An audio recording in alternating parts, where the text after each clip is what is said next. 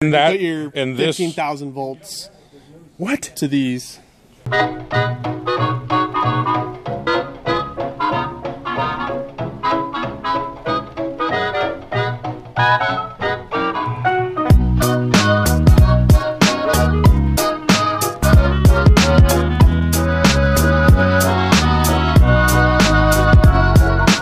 What's up, guys? I am down here at Spokane Create in what is known as the Mod Pod. Said in the last video we're to break into Arduinos. We have these right here. These are specific Spokane Create Arduinos. Uh, one of the members uh, had printed for us, and they have them in two different versions a 16 megahertz and a 20 megahertz version.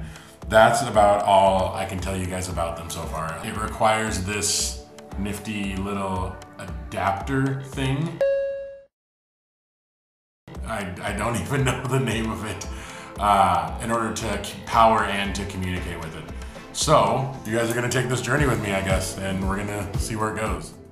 All right, so I'm sorry about the flicker here. I am not sure how to fix that. It doesn't do it when I'm over here but I'm guessing it's related to the LEDs. But anyways, so here is the first step is going to arduino.cc.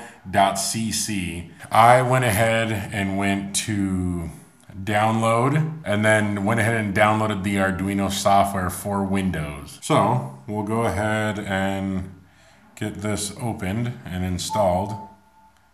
Next on here, uh, let's go ahead and, I don't know, I guess play around. I'm not, I don't really know what we're doing with it yet. Uh, I'm assuming there is the standard Blink protocol on there already. Uh, so let's go ahead and I'll let you guys watch as I dig around. All right, so there we go, examples. So let's go ahead and load basic. And there it is, Blink. So on this, I'm not sure what pin the LED is connected to. I'm guessing that's it right there. How about we just do it and find out?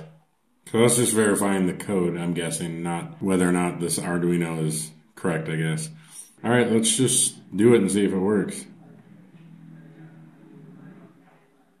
It did not. Hmm.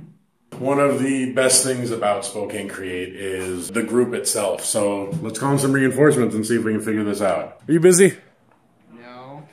No, Do you know Arduino stuff? kind of. I do. You do? Yeah, what's up? Would you like to help me with this? Uh, what, what do you need done? I'm literally trying to do the Blink program. What's your name? Spencer. Tyson.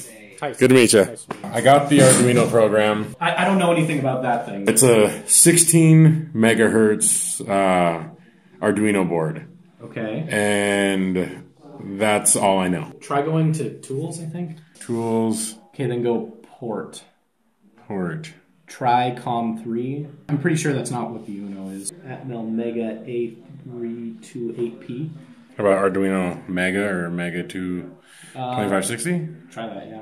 Let me And just try and should I just try and upload it again? See yeah, if it goes. see what it does. And if not, you should try port or COM5. Usually it would upload by now. So Yeah, I was gonna say this is a really small program to take this long. Try COM5 instead. Okay. We will go upload again. Upload problem, same thing. Well, since we're already on that board, we might as well switch to five and see if that works. Upload. Oh, hey, look at that. Oh! Recognized it, so that's definitely COM5. I don't know if it's set to the right board. but- Yeah, but so we're getting progress. Oh, now the light went out. Timeout communication with programmer. Okay, let's try the Uno. Upload. It's still uploading. I'll, uh, I'll look for that extra board. I I'll keep going through the boards until then. Yeah, all right. It failed. I'm gonna keep flipping through the boards, but we'll get this. And that that is one of the beauties of Spokane Create. It's just a collective of people willing to help. I did not know him 10 seconds ago, and he's awesome. So uh, we're gonna keep going on this. Let's get this figured out. Do you know what uh board this needs to be set on to program it by chance? I'm trying to program it, and I literally just load the blink. Oh, we have an instruction sheet. Um, Oh, you- Dan has it. Let me, let me. Okay, yeah. All right, so apparently there's instructions. Who knew that? So Nate went to grab the instructions right now, and he's gonna help me get this figured out. I thought that this had it on it, but it just has the pinout for the. Okay. So ATmega 328 would. I think that's what's on an Uno. Did you I tried Uno and didn't get anything. Well, we got there. We got the power light, but then it failed, or it just kind of hung there. I think. That might be backwards. Yeah, it's got to go that way. Oh, so let's go ahead and see if we can change the blink rate.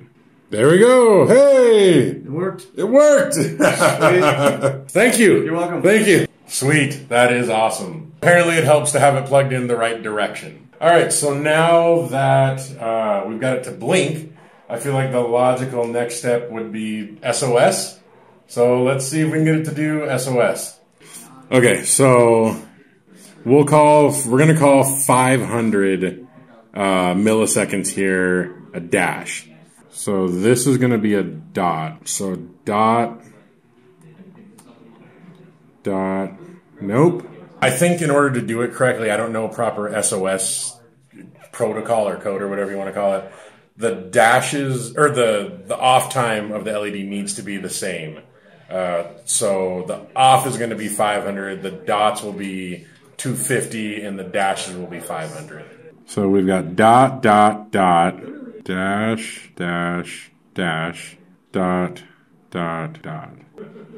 Nope, that didn't work out. Dot, dot, one more dot, and we're done. Okay, so this should do it. Let's go ahead and verify. Compiled just fine. Let's go ahead and upload it.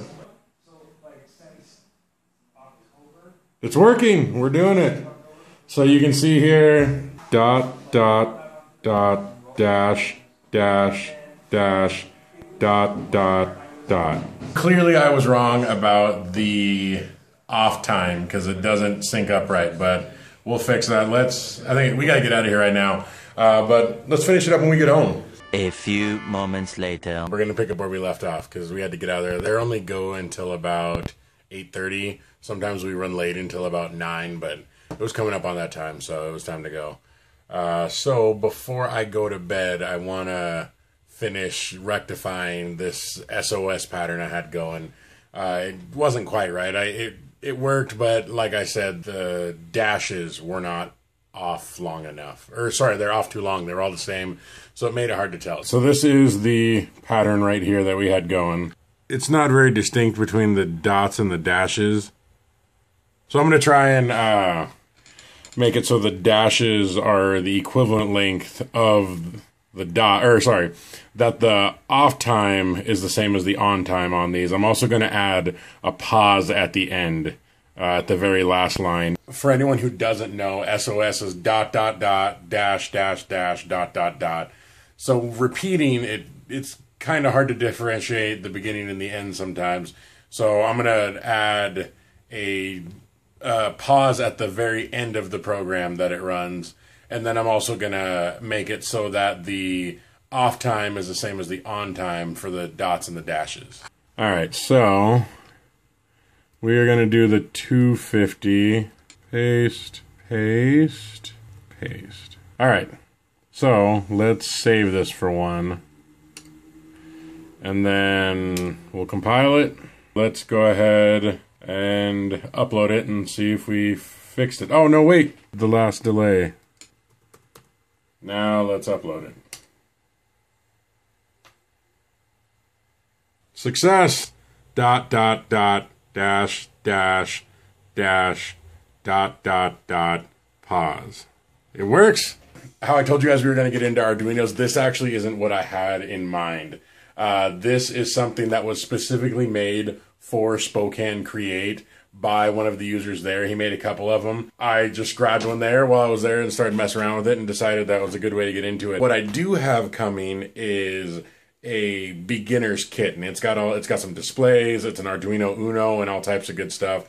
So instead of this being the first project, we might be able to move on to something a little more fun.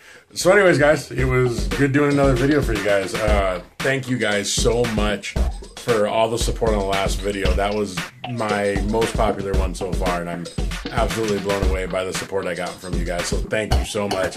Please remember to subscribe down below, and please, please remember to comment. Like I said, the reason I do this is for the community of it, the the discussion, the geek talk. I absolutely love that. Also, you guys can add me on Google Plus. I'll include a link below, and add me on Twitter as well. Twitter.com slash Tyson Coleman.